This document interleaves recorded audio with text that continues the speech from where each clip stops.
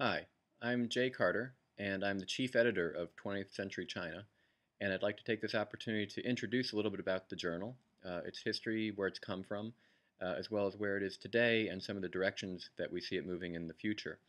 We hope that this will give you a sense of what we think is one of the more exciting, innovative, and important journals for scholars to turn to when they're looking for current research on Chinese history, culture, politics, economy, and society. The journal was founded in 1983 uh, when it was called Republican Studies Newsletter. And since that time, it's changed names twice. Uh, it's changed to Republican China and then to 20th Century China.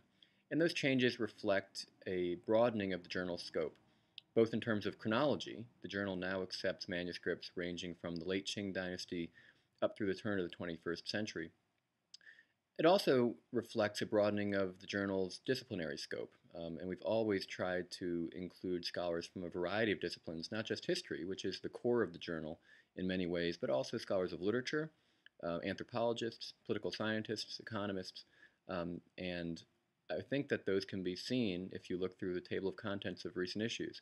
The current issue, for instance, uh, includes two articles that are by self-identified historians, but two others uh, that are not. One is by a political scientist looking at the Gao Gang affair of the 1950s, and another is by a scholar of literature.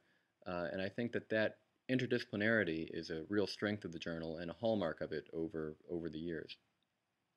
Another strength of the journal, uh, in terms of diversity again, uh, is the global nature of its editorial board. And I think that helps to encourage contributions uh, from across the planet.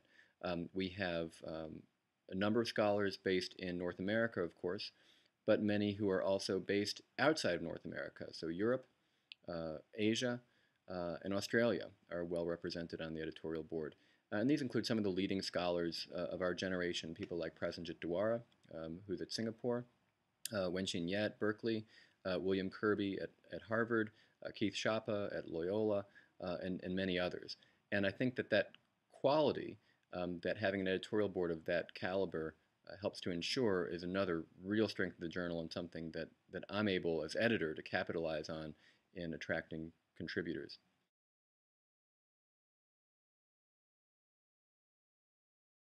Last thing I'll say for now is that we have some really exciting developments going forward, um, reflecting our new partnership with Maney Publishing, who is publishing the journal starting in 2011. Um, two specific ones that I can point to uh, are first, a special issue on music. Uh, and the special issue on music is focusing particularly on Shanghai and the colonial era, so in the, the first half of the 20th century. Um, and it's particularly looking at the interaction among the different foreign and Chinese communities in the city and the way they came together to produce music that was unique to this period, uh, to this time and place. The other uh, is a special issue that's going to be happening probably about 18 months from now, uh, and that's looking at the May 4th era, uh, so the May 4th movement and the years following it, using new scholarship by some of the leading scholars uh, across the world to try and reinterpret this period uh, and understand its implications uh, now as we're moving well into the, the 21st century and, and approaching the, the 100th anniversary of, of that important event. But for these and many other reasons, I hope that you'll consider subscribing to 20, 20th Century China, and um, I look forward to, uh, to sharing the results of, of our work in the future.